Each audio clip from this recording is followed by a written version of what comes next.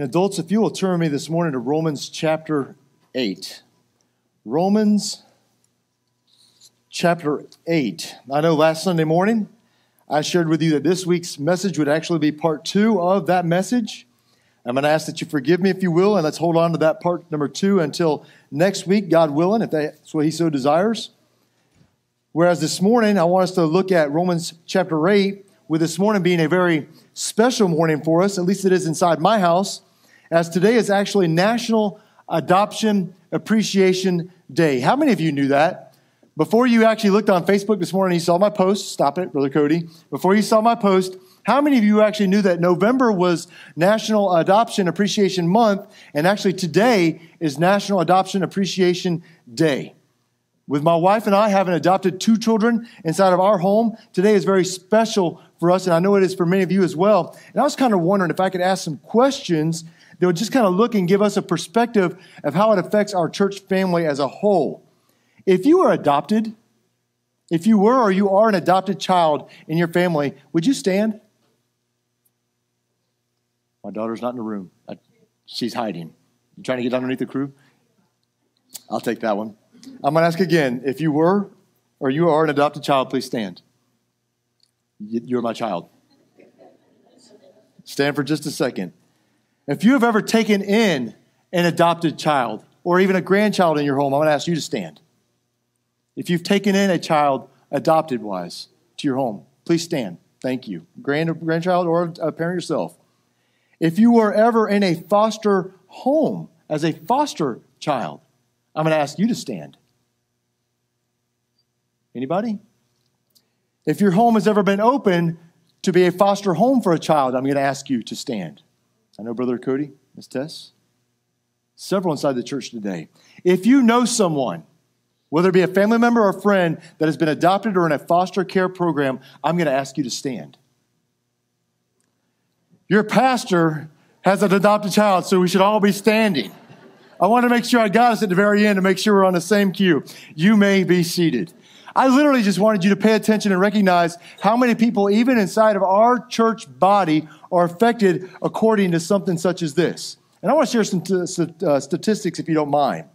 As of today, November of 2018, did you know that there are over 1.5 million adopted children inside the United States? 1.5 million adopted children. 135,000 children are adopted every year inside the United States of America. Watch this. We have over 425,000 children in the foster care program. And of those, those 425,000, more than 60% will stay in their foster care program between two and five years before they are ever adopted. And even more sad to that fact is some will never be adopted. There are over 114,000 children sitting in foster care programs right now waiting to be adopted. Why? I want us to stop and consider that truth this morning, asking ourselves, why are so many not being looked out for? Church, only 2% of America today 2% of Americans step forward for adoption. Whereas one third of Americans say they've considered it. They know there's a problem. They know there's an epidemic there, if you will. They've considered it, but they never step forward. Only 2% do. And again, I'm going to ask the question why?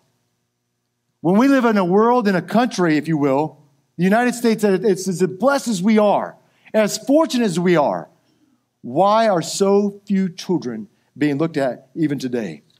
I'm going to come back to a simple truth, church. I believe we forget.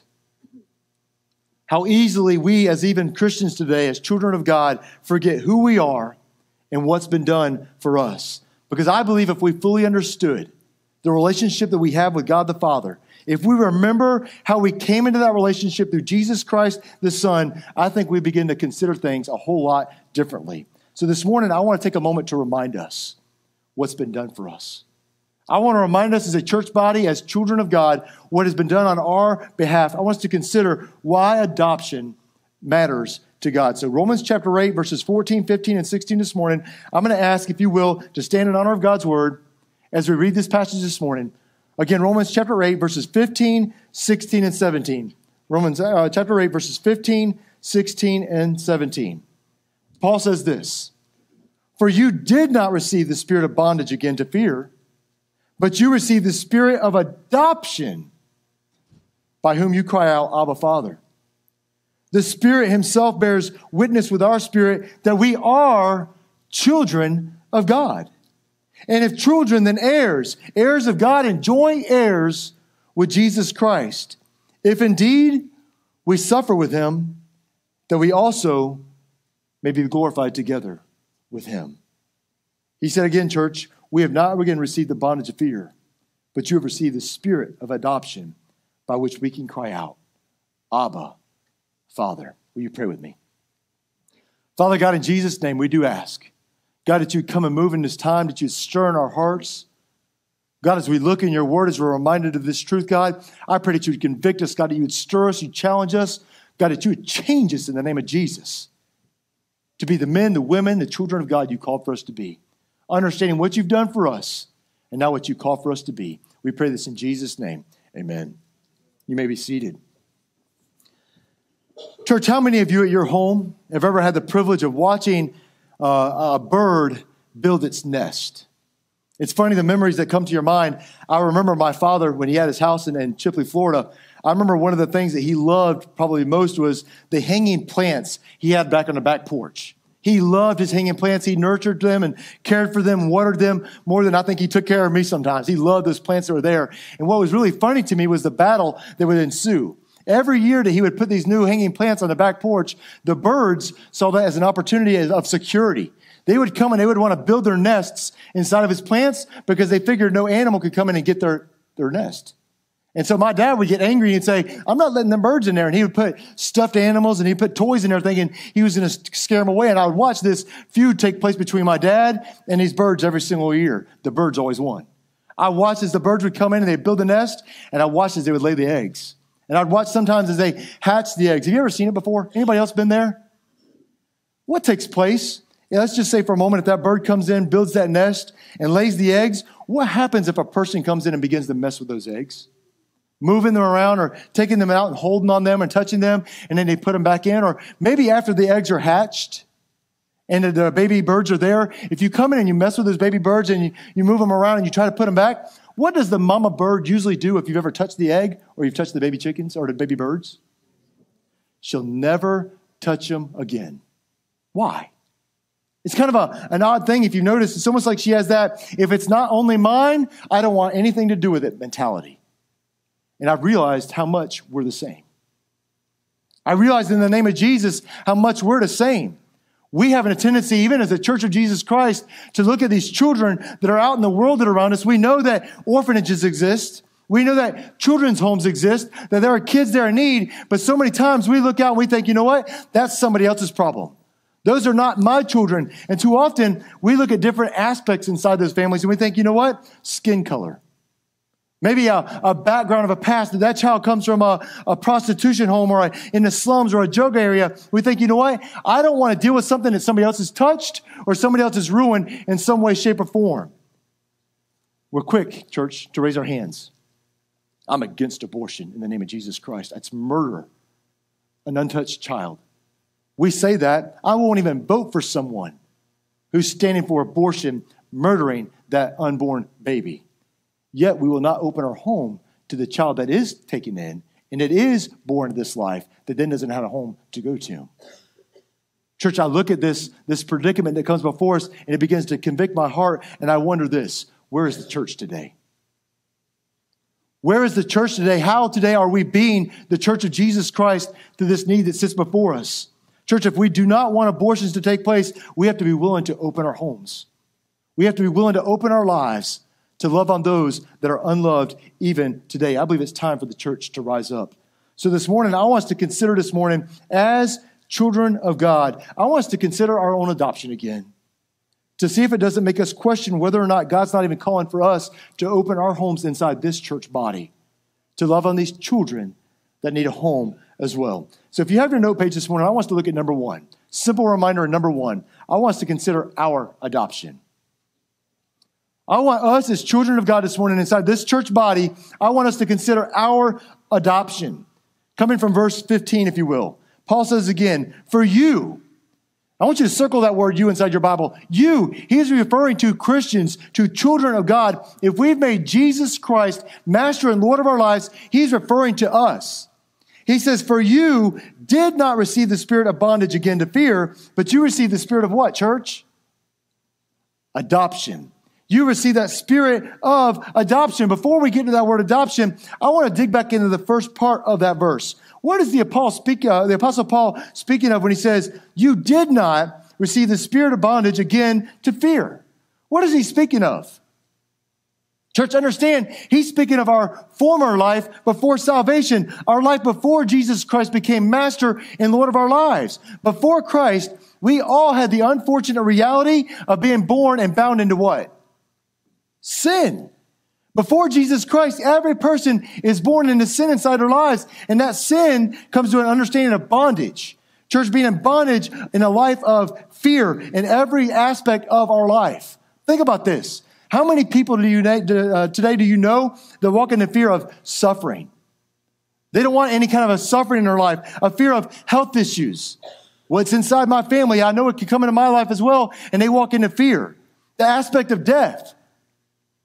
Everybody walks into aspect, the fear of the aspect of death, the fear of life, the fear of failure, the fear of disapproval. We have a fear to, uh, uh, a tendency to fear so many things inside of our lives. And church, that fear again, as the word of God tells us, becomes a bondage to us.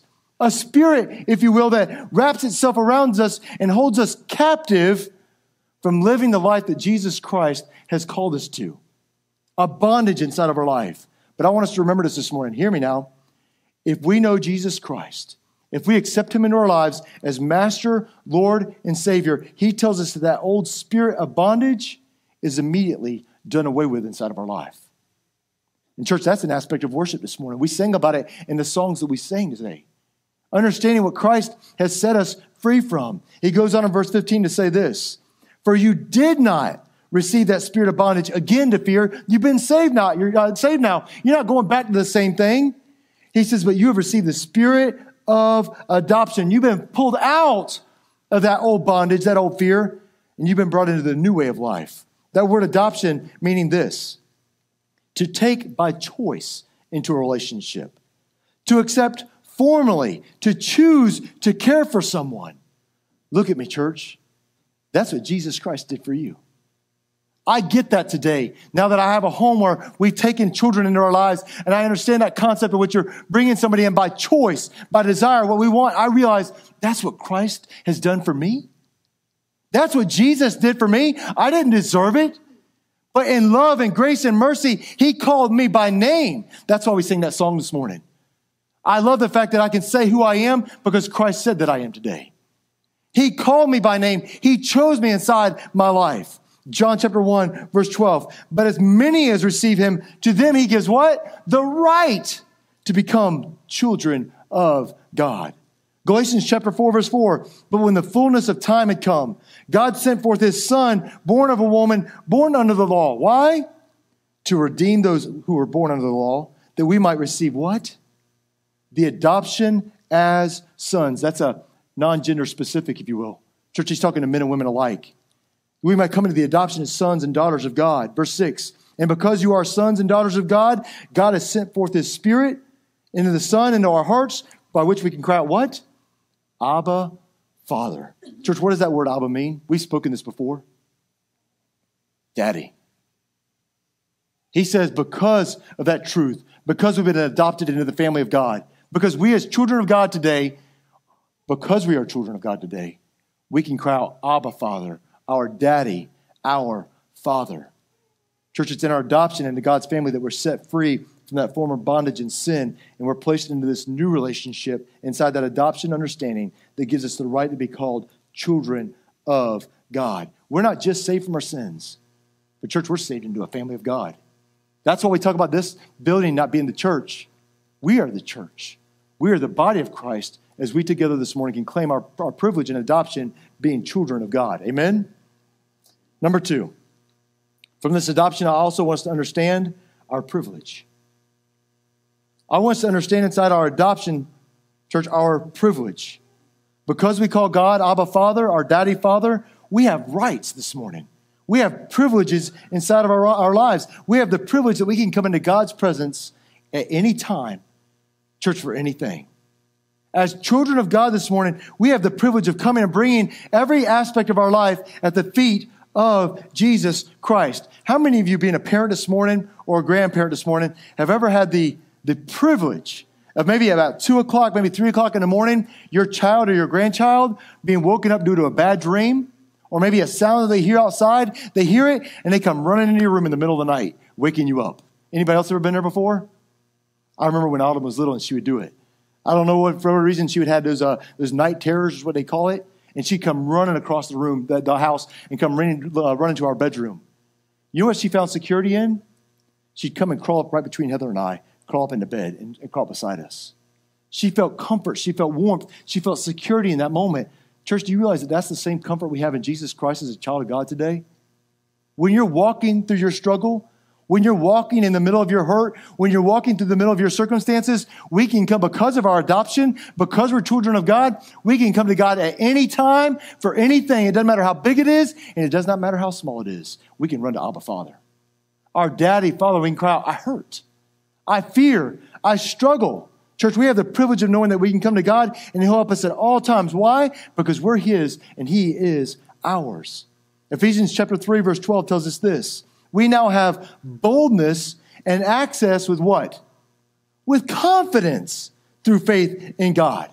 We have boldness and confidence, what? For every need we have inside of our lives. I don't ever have to stop as a child of God and say, you know what? God probably doesn't want to hear this. I, I, I, shouldn't even bother God with this because this is just too small. This is just something that's just too personal. No, I can come with boldness today I can come with a confidence inside my life. I can come boldly before the throne room of God and say, because I'm a child of God, I can lay anything at his feet. We had an awesome, powerful time with the men inside this church body this morning, right here inside this sanctuary. And it's funny how before we came in to this time of prayer, it's funny how your pastor tries to figure out in his mind. I try to picture what it's going to be like when we come into this time. I had it all set in my mind. I had it figured out thinking, this is what it's going to look like. And we came in for this time of prayer and went a completely different direction. And immediately I felt God saying to me, just step back and get out of the way. This is my time, not yours. But I watched as that began to take place, as the men of God began to pray, and some confessions started taking place. Prayer requests started taking place, and we get to begin to pray together and pray for each other. I watched as the Spirit of God begin to move. I watched as He begin to pour out inside of our lives and begin to stir inside of our hearts. And I begin to understand it doesn't matter what our needs is. Sometimes I know this, especially as men, we don't like to confess our struggles. We don't like to confess, confess our, our needs, our, our weaknesses. So it was a powerful moment when uh, some of the men began to share that this morning, but I know usually we do not because I don't want somebody else to know what I'm struggling with. I don't want them to know that I, am hurting, that there's a, a problem inside my life. I wonder if sometimes we're like that with God. Don't you know that God already knows it all? In church, if we truly knew the love of God, we know that we can come before Him at any time for anything we can lay at His feet. Why? Because we're His child. I am who he says that I am. Church, we are who he says that we are this morning. And this morning, inside that adoption, we have this privilege of knowing we carry the love of God inside of our lives. Number three, I want us to look at our guarantee. Our adoption, church, our privilege, and now I want us to understand our guarantee. The guarantee that we gain inside our relationship with Jesus Christ. And this is what I mean by our guarantee. I've already confessed this with Autumn. She knows I'm going to talk about her for just a second. But, church, I, I, remember the day that we still adopted Autumn into our family. She was just a few months old then, and here she is 17 years old today. She'll be graduating high school this year, um, looking at colleges, looking at all the different aspects of being a 17 year old. Sometimes you wonder why your pastor turned gray overnight. Watch her look down. She won't even look at her daddy. She knows it's truth. But you know, there's some things I could tell you inside this adoption.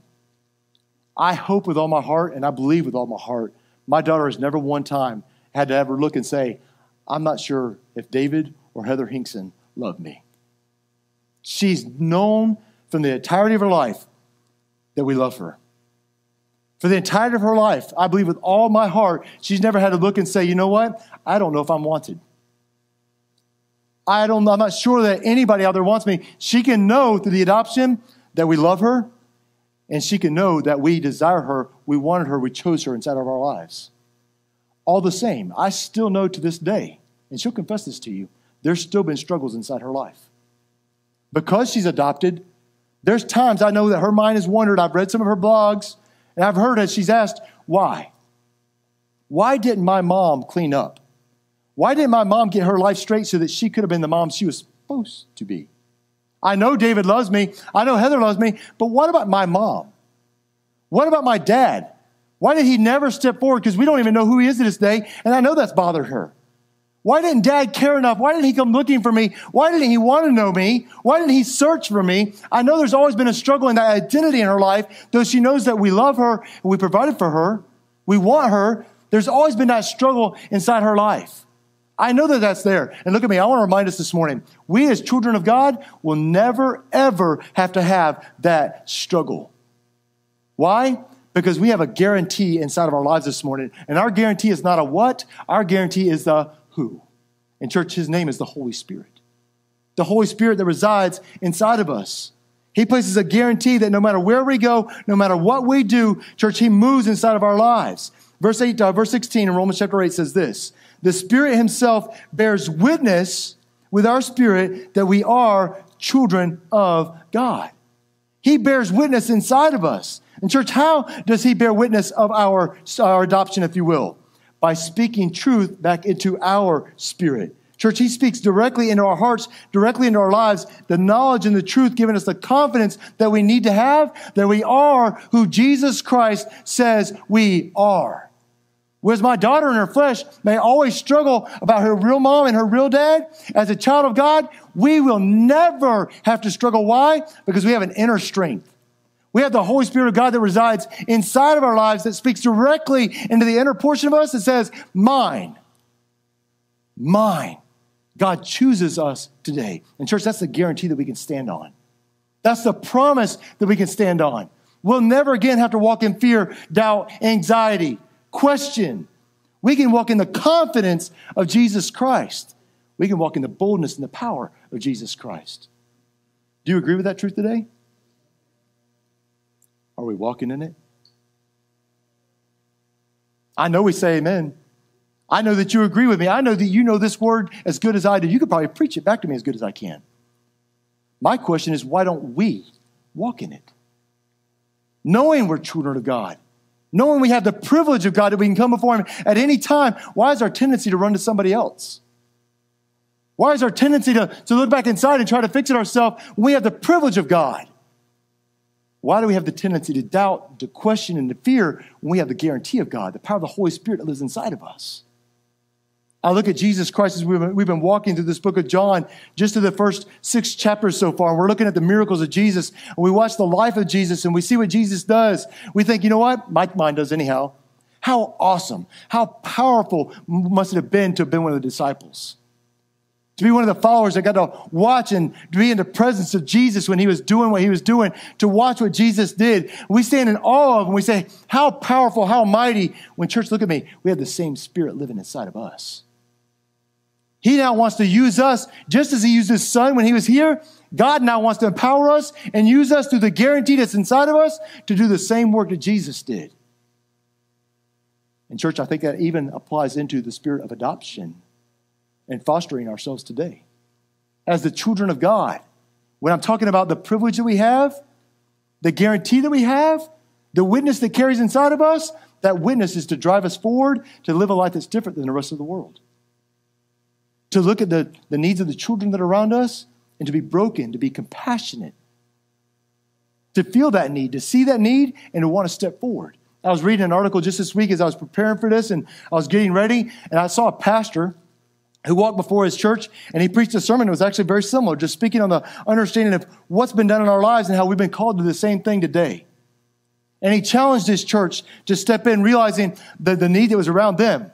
And he gave the stats on how many homes were needed right in their area for the foster care program, how many homes were needed for adoptions right in their area. And their church made a commitment that day that they were going to fix that need.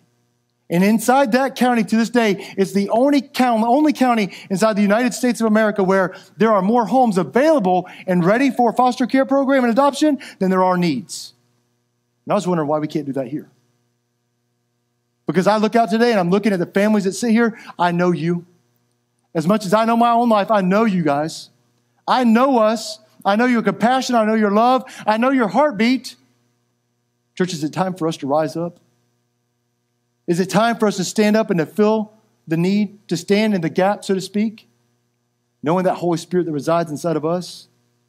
Romans chapter 5, verse 5, the Apostle Paul says, Now our hope does not disappoint because the love of God has been poured into our hearts.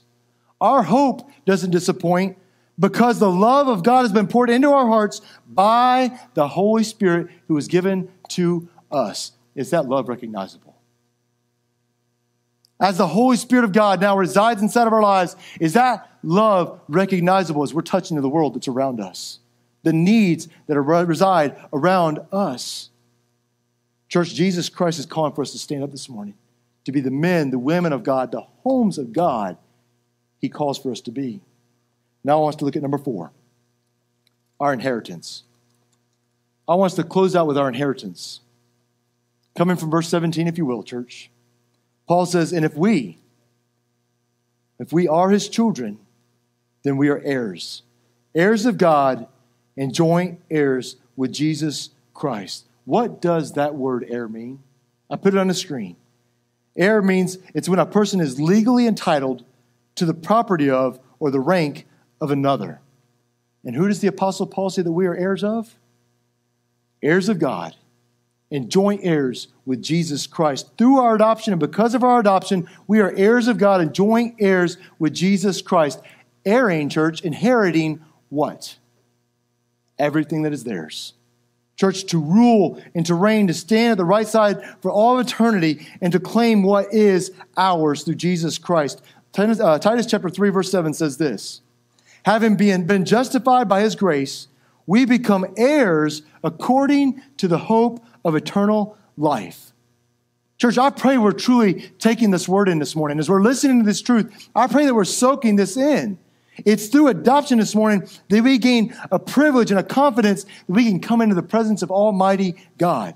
It's through adoption this morning that we gain the guarantee that He'll never leave us, He'll never forsake us as He places His presence inside of us. And it's inside of adoption that we gain an inheritance to know that we are forever His church. For all of eternity, we'll stand at His side. When I realize that truth, I can't help but worship. When I realize that truth, church, it can't help but stir inside my life and change my life. Church, it shouldn't help but change ours as well. It's a privilege today to be able to look down and see my daughter, to see my son, it's a privilege to look across the room today and to see the foster homes that are here, the adopted homes that are here, the adopted children that sit inside this room. It's a privilege today. But, church, this room should be full. As children of God today, if we truly understand what was just preached, if we truly understand what God's done for us, how could we not in turn go out and do the same thing again? Aren't we called to be Christians, little Christs, throughout the world? Church, if they're going to look inside the church body and see love, what does our love look like? If they're going to look inside the church body and see reaction to the cross, reaction to what was done for us, what does that look like? This morning, I believe with all my heart, it should look like open arms as Jesus was for us. Open lives as Jesus Christ was for us. This morning, I want to remind you adoption matters to God, and adoption should matter to us because it's forever changed our lives. But I wonder this morning how God wants to use us to forever change the life of another. As this world around us is lost, church, it's dark, it's hurting, and it's looking for that hope. It's looking for the light of Jesus. And I want to remind you this morning we're the light. We're the light that's called to penetrate the darkness. As Christ is calling for us to stand. He's calling for us to stand. I'm going to close with this question this morning Why not you? Why not you? If that's the world's statement today, that's just not for me. Why not you? If that's what Christ has done for you, why not you? Why not us? Why not be used to be the hands and the feet of Jesus? Will you bow your heads and close your eyes?